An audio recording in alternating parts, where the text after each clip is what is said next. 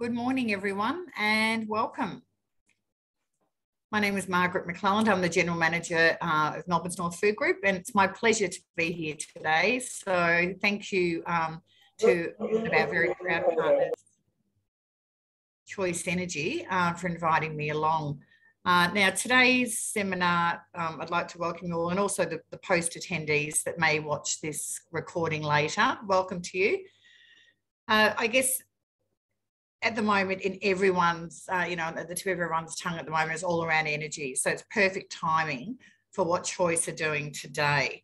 I know a lot of our food and beverage manufacturer members, um, it's certainly something that concerns them um, with, you know, the, the actual rate of, um, you know, the, the energy bills, et cetera, et cetera. So I know Choice have worked with a number of our members um, and has certainly um, seen some huge reductions, which is great. So You'll find out a bit more today uh, about that, but just a little bit about Melbourne's North Food Group. We're a not-for-profit uh, association, and uh, so we have a number of businesses, not only in the north of Melbourne, but we have them around Australia at the moment, which is great.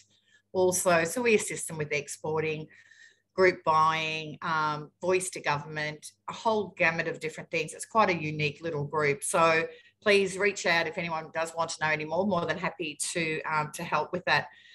But um, I would like to introduce uh, our speakers today, and, uh, and and thank you for being here. Uh, we have Alan Gill, the Executive Director of Choice Energy, Lachlan McGee, Solar and Renewable Energy Solutions. Uh, we've got uh, Callum Reeve, chief boss. And I mean, I love this, Callum, chief boss. And who doesn't want to be a chief boss of Kaiju beer? I mean, great job you've got, Lockie. So we'll have to have some question and answer time as well. Um, so if you want to go into the chat function and uh, we'll have some Q&A at the end. So please, any questions you do have, please submit. But without further ado, thank you very much again for being here. And I'd like to introduce our first speaker, Alan Gill. Thanks, Alan.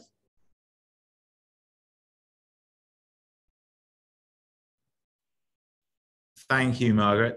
Uh, very kind introduction. And uh, yeah, thanks for facilitating today. Hopefully, um, there can be some interesting updates and uh, a bit of advice as to uh, what the members of your association um, can do to take some matters into their own hands. So thanks for having us. So first of all, a quick insight to Australia's energy market. Um, it's been a weird couple of years in general, of course, with pandemics and the like, uh, but the energy market has nonetheless been no less volatile. Uh, in February, we saw five-year wholesale market lows, and that's steadily increased uh, right back to pre, before uh, above before previous measures. And there's been a couple of reasons as to why that's happened. So um, the five-year market lows were really due to one of the coolest summers that we've experienced in years. Uh, some of our major capital uh, cities had you know, snap lockdowns and uh, cold snap lockdowns, that is. Uh, uh, but what it meant is that the lack of the use of uh, air conditioners, heating of pools created an artificially low demand. So Australians just weren't using as much power last summer. Um, which meant the wholesale sale price came down, supply and demand. Um, but then it went back up because uh, there were some generation problems at Callide and Yallourn power stations, which had fires and floods uh, appreciatively at the same time, uh, at very similar time. But uh, what Choice Energy were advising their customers to do, Margaret, um, in February, is to take a forward position of their next contract. So whilst the market's nice and low at wholesale, take a position, even if your next contract begins in 2023, organize that now whilst the the load is very cheap. So um, yeah, there was there's some plenty of opportunity in the last sort of 12 months. Generation companies uh, need to recover their losses, so prices have risen. Uh, but just as an example, Origin wrote down $1 billion in asset value uh, just at Eraring Power Station in New South Wales. Um, and so we're not foreseeing February 2021 prices uh, retail prices, that is, uh, return to anything like they were uh, in the short term. Uh, you know, over a short period of time, AGL share price fell more than 48% and AGL 67. So those companies have got to do something, those generation retailers have got to do something to uh, win back uh, that market. Um, so we we do not expect prices uh, to be at a lull anytime soon.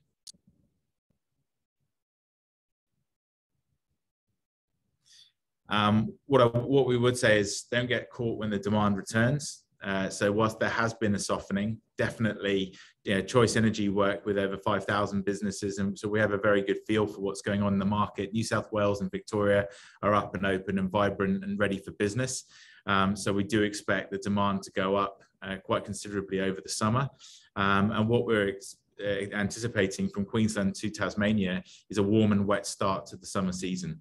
Uh, so higher than average energy usage is going to push prices up um, as demand increases.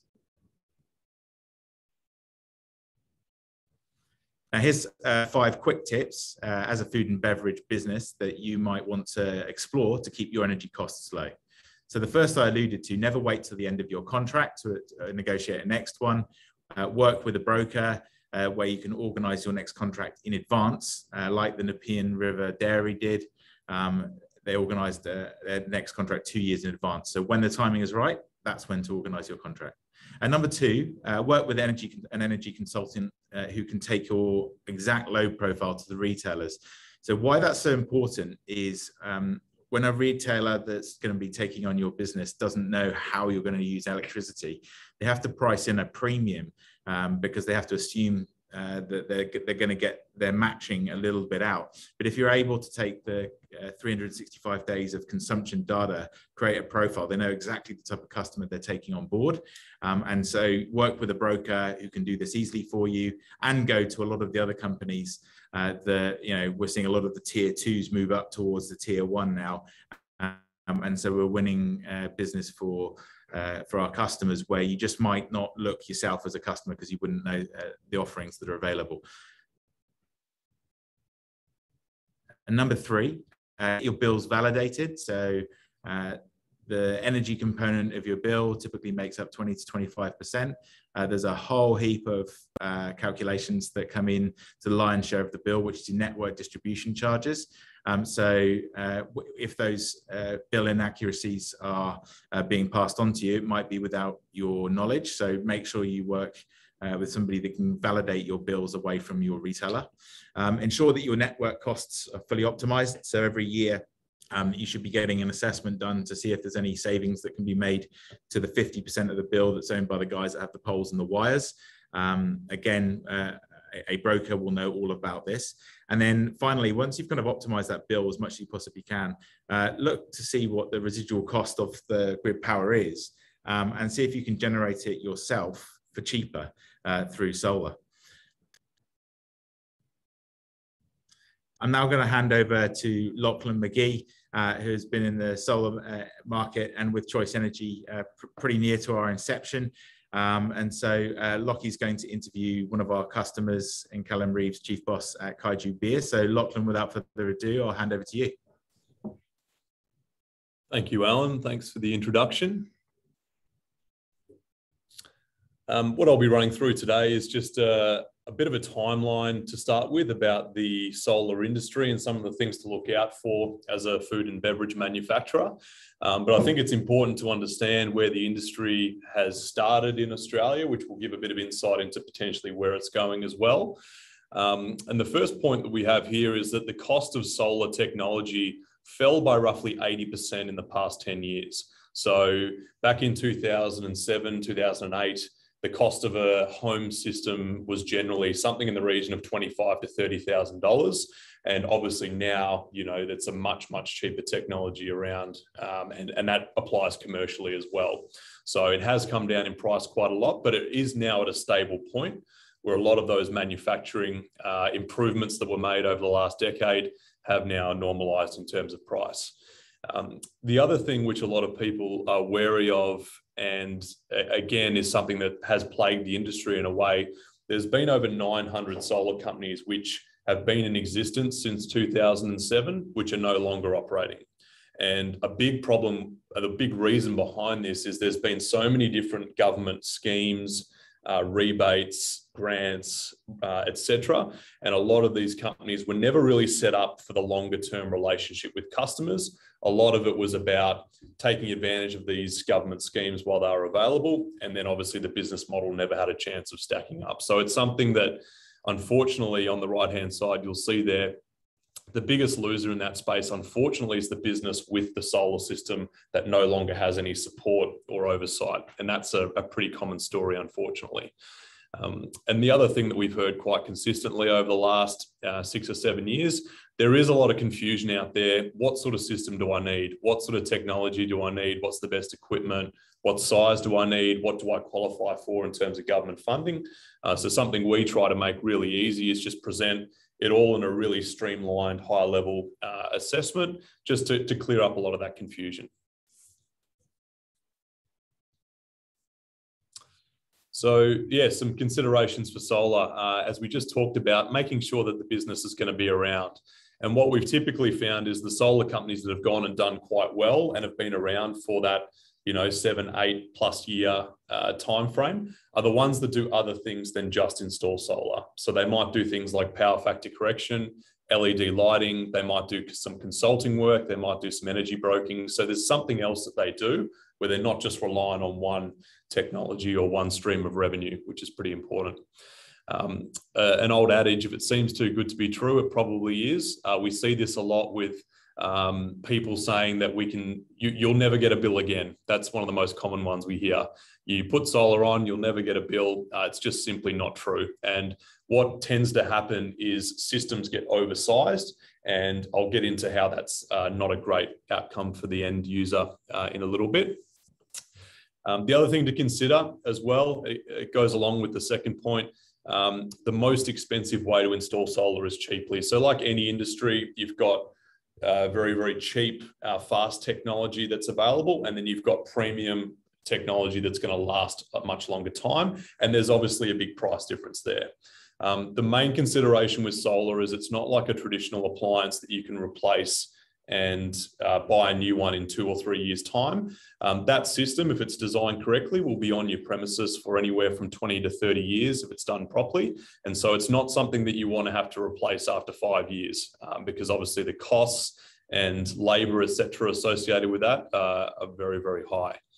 Um, and then the final thing is, you know, are you guaranteed a minimum level of performance by the installer? So everyone comes with a manufacturer's warranty for the equipment, but is the installer going to give you a minimum uh, guarantee about what the system's actually going to do for you? Because without that, what we find is the business is the one taking all of the risk and the installer is taking absolutely no risk. So the propensity to take shortcuts or to do cheaper work on site is much, much higher when there's no guaranteed result. So they're just a couple of things to look out for, um, but certainly the too good to be true is something we still see today.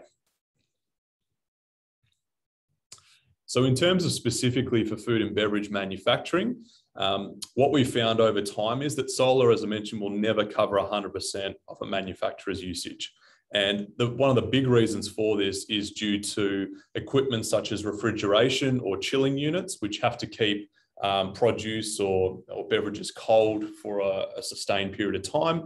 Um, obviously, the sun shines for roughly eight hours in winter and about 14 hours in summer.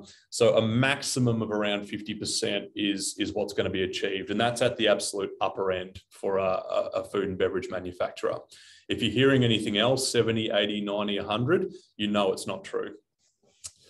Um, big is not always better with solar. And the reason I say this is when businesses put on too much solar power onto their premises, and if they're in a position where they're not able to use all that power, it will go back onto the, the grid outside their property. And the problem with that in Australia, feed in tariffs originally, when it was first introduced, were around about 70 cents a kilowatt hour. And now in some states, they're 5.2 cents a kilowatt hour. So the rate of return that you make for sending power back to the grid is or has gone down by roughly 90% or even more than that.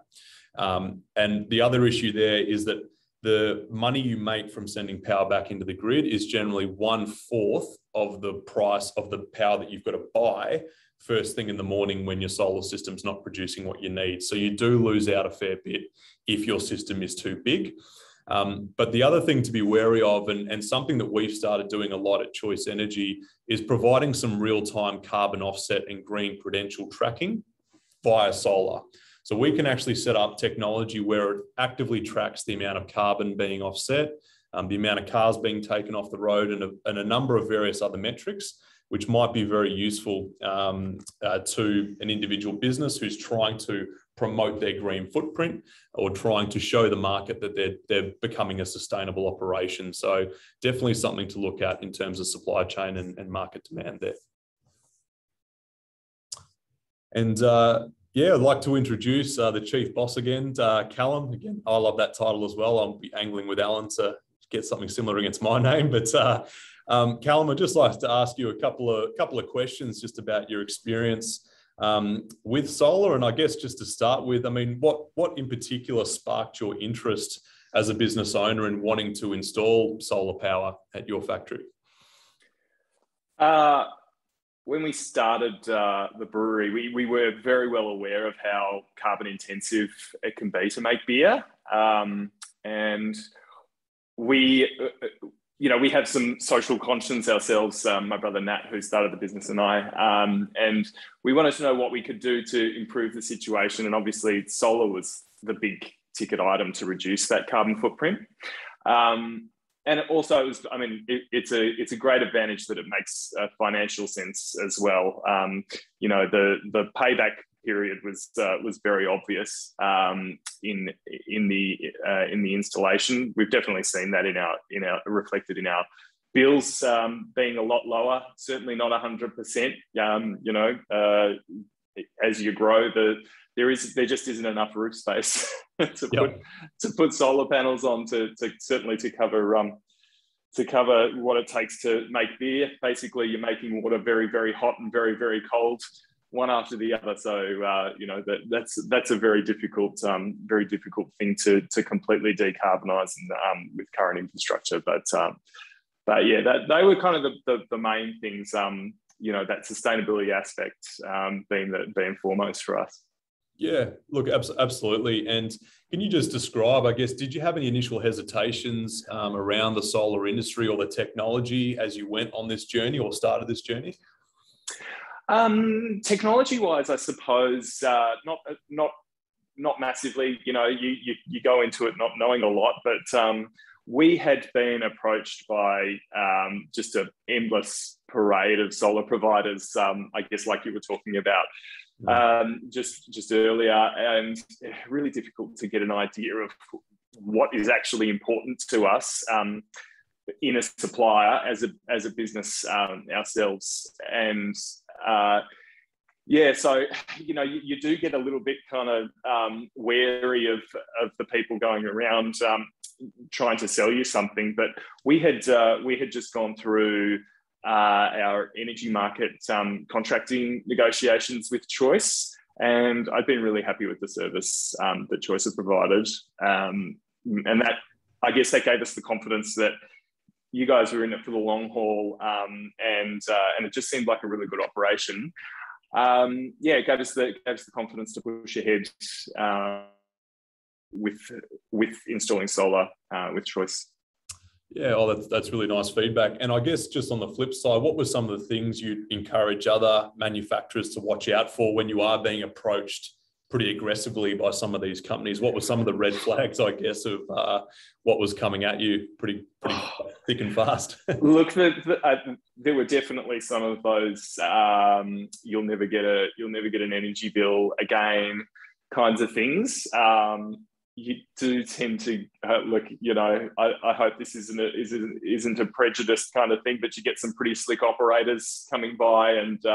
You know, it's it, I, I think it's it's it, it can be difficult to to tell um, who who's going to be the the, the better um, the better supplier. But uh, but I, I I got a, a, good feeling of, a, of an honest approach, I guess, from um, from Choice, and some of the others were were were uh, more like a, a, dog with a bone kind of a situation, um, and really kind of you know, I wasn't, I, I, I, didn't feel like it was about what was in it for for us as a business, but more uh, how I can how that person could um, could sign off that sale and move on to the next one.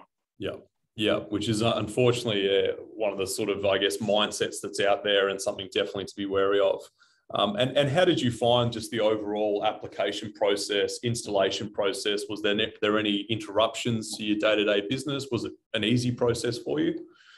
Um, I, I couldn't believe, I, I could not believe how, how painless it was, to be honest.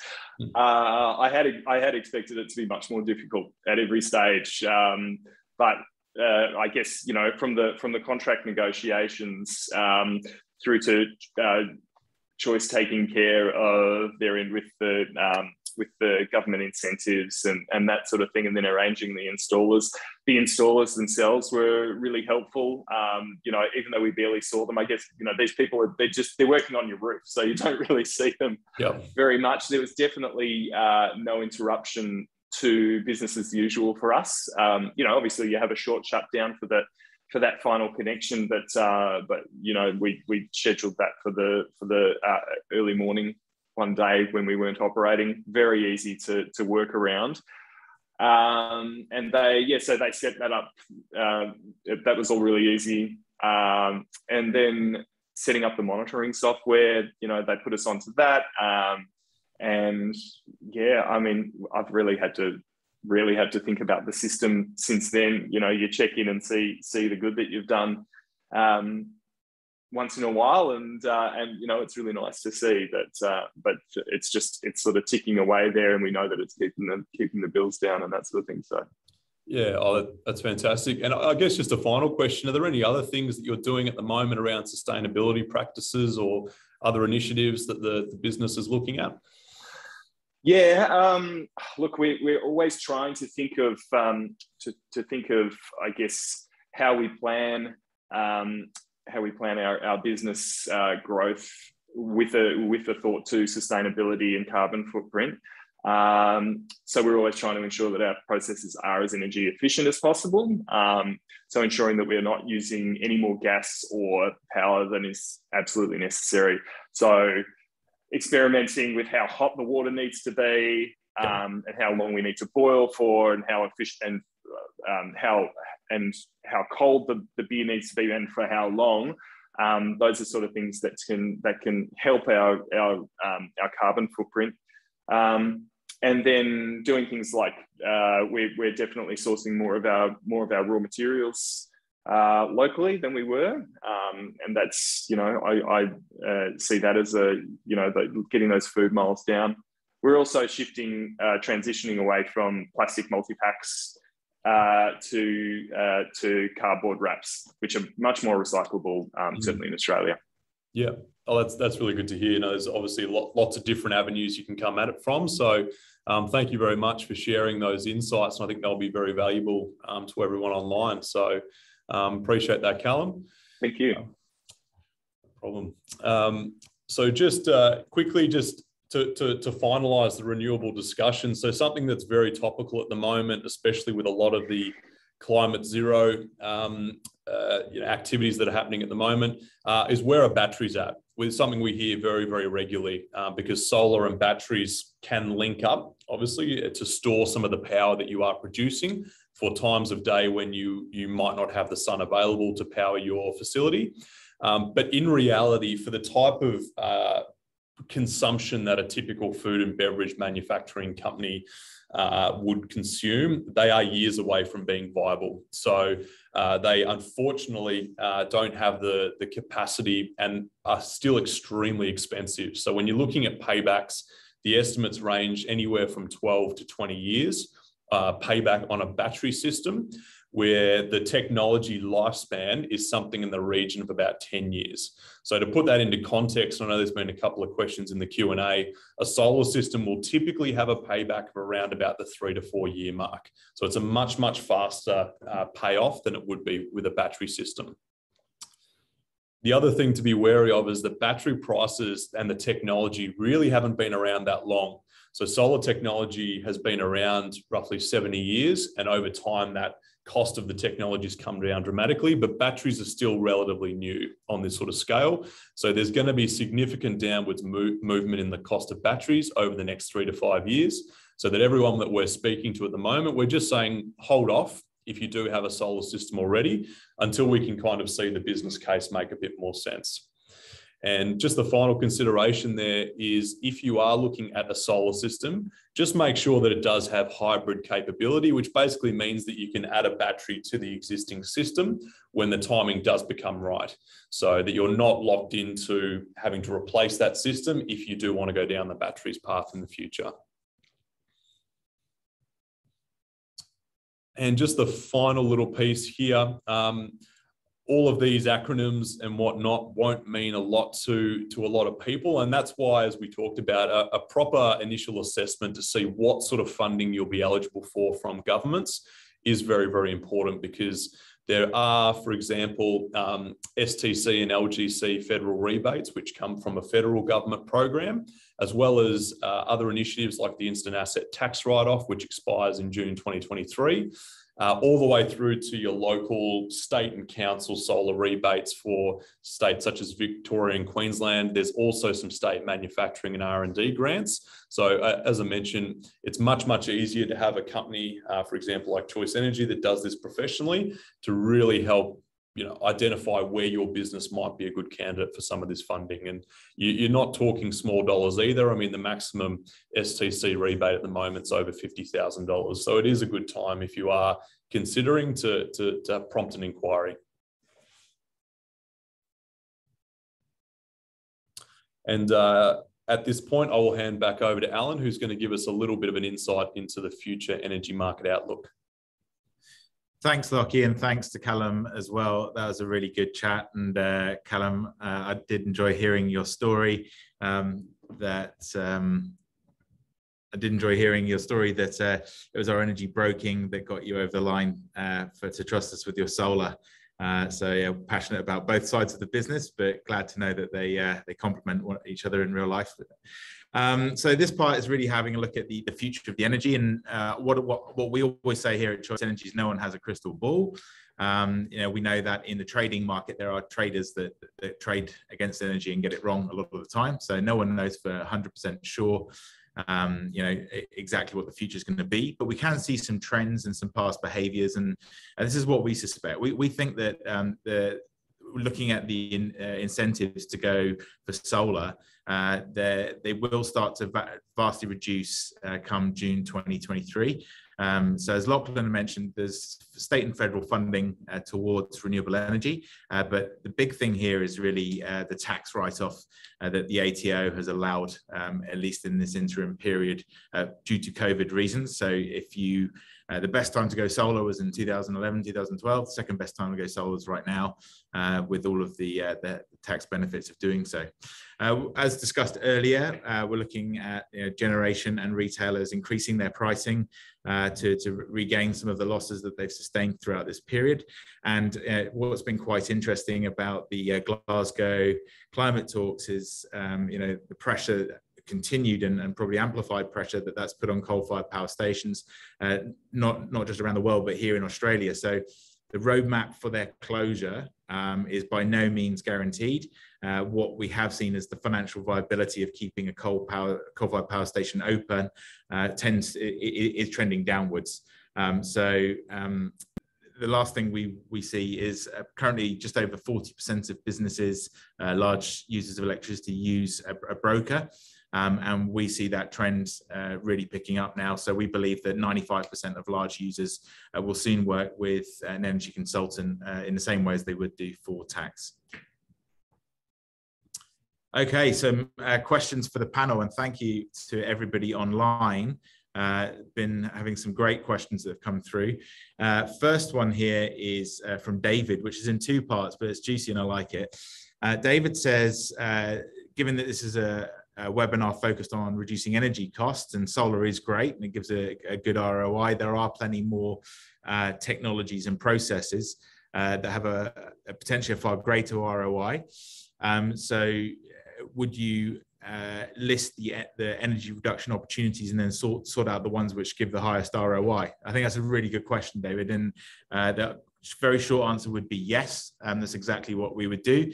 Uh, we would go and get all of their interval data, build that load profile, and figure out what's going to be the biggest uh, uh, bang for buck uh, that that customer can do first, and we would present a roadmap to them. Now, if they want to start with uh, with broking as Callum did, and then move to solar, um, then that's absolutely fine, and that's kind of the logical uh, sort of progression. Uh, but sometimes we do have customers that come to us and say, we just want solar. I'm glad that you can take care of the broking as well. So they want to start from different points, but absolutely, uh, we, you have to sort of look under every stone to get, um, you know, drive some real efficiencies. So thank you for that robust question, Dave. I thought it was very good. Um, so Paul, uh, it's maybe one for you, Lachlan. I hear the cost of solar has come down a lot, uh, but what's the typical payback period for businesses these days? So a lot of businesses can expect something in the region of about that three to four year payback range. And, and that's obviously very dependent on a number of factors. So there's no one size fits all in terms of what a solar payback will be.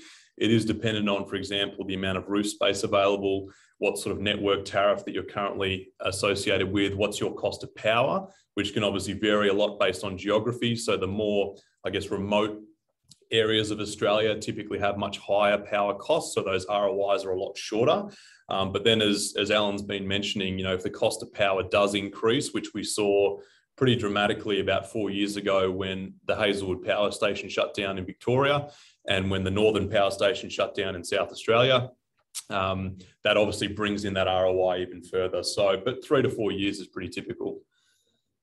Awesome. Thank you, Lachlan.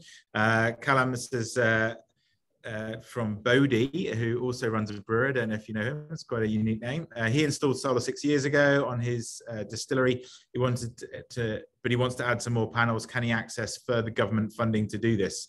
Uh, Locke, what, can he access further government funding?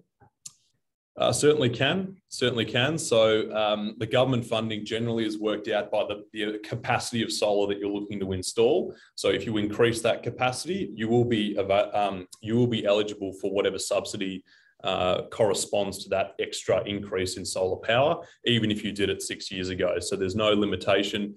The, the current funding arrangements from the federal government do expire in 2030.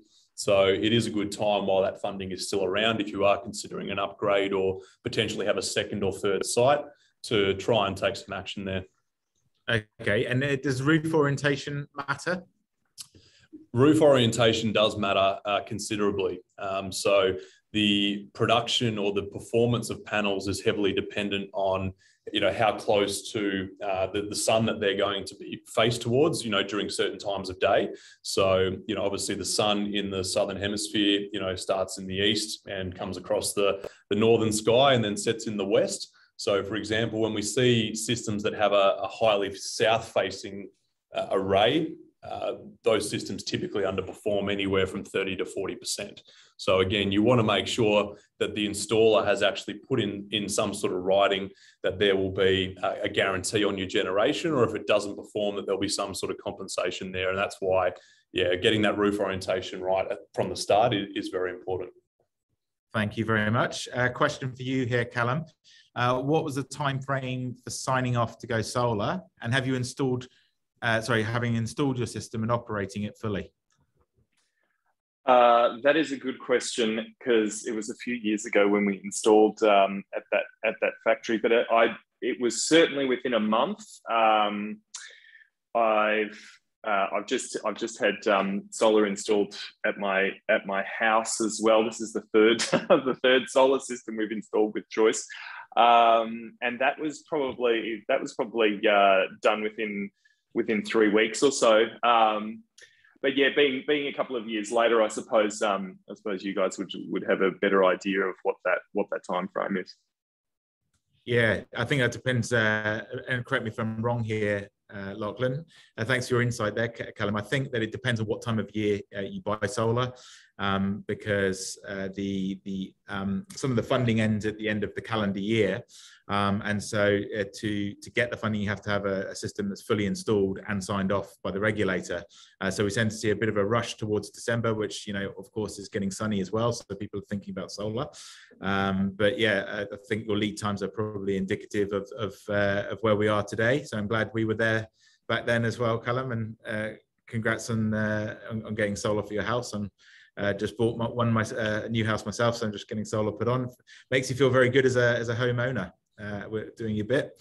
Um, awesome, very thank you very much. Okay, so uh, once I've I've installed solar, how do I know if it's functioning correctly? I hear a lot of people have no idea, Lachlan.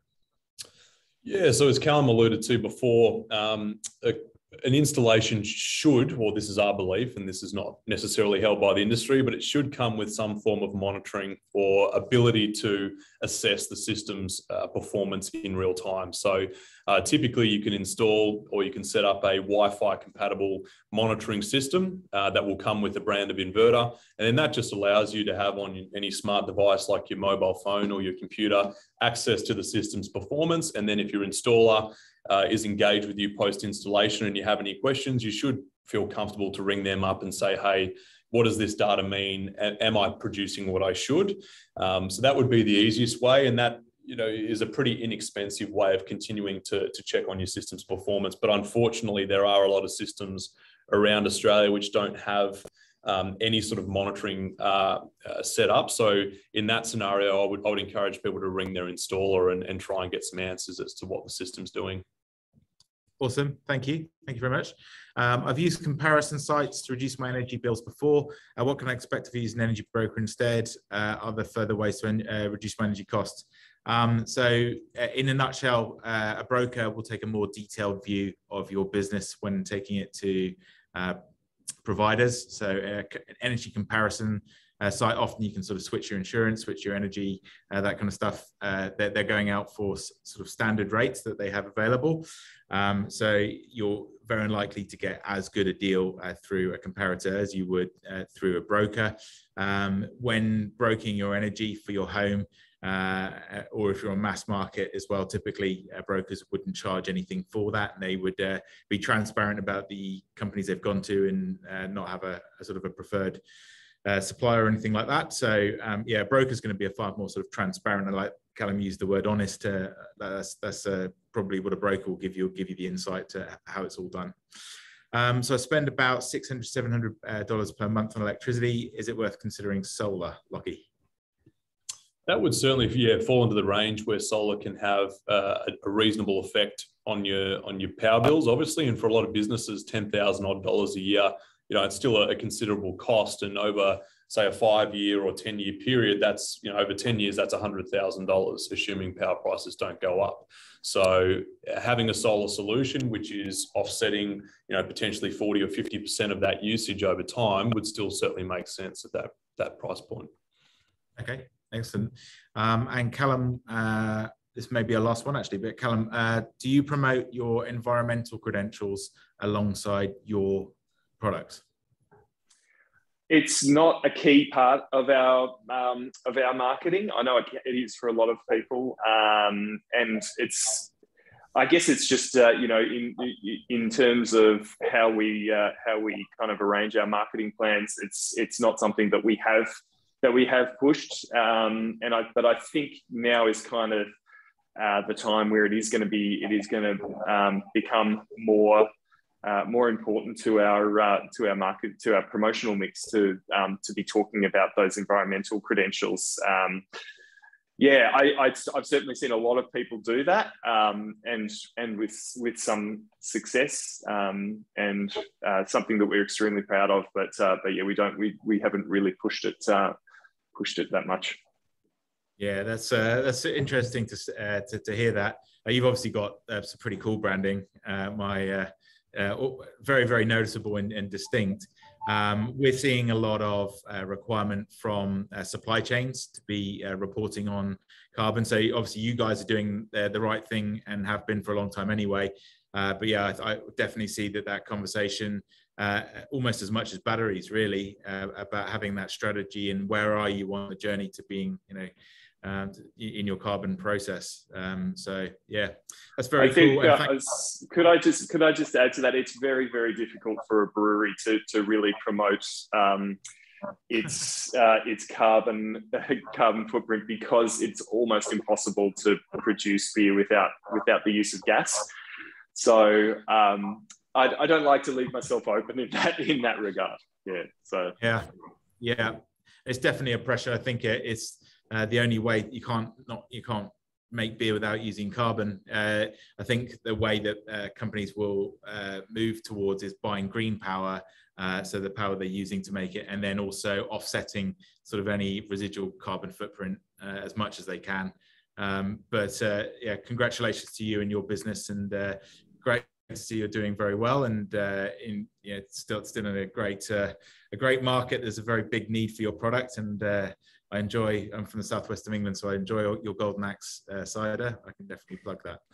Um, so thanks very much for joining us, uh, Callum. Would say uh, thanks to everyone uh, attending online and Lachlan as well for your insights. Uh, very much appreciated. Margaret, thank you for hosting us. Uh, it's been some pretty robust questions at the end, which is normally a good sign that these things have gone well and that uh, you know, passions are evoked and that's certainly how we feel about it.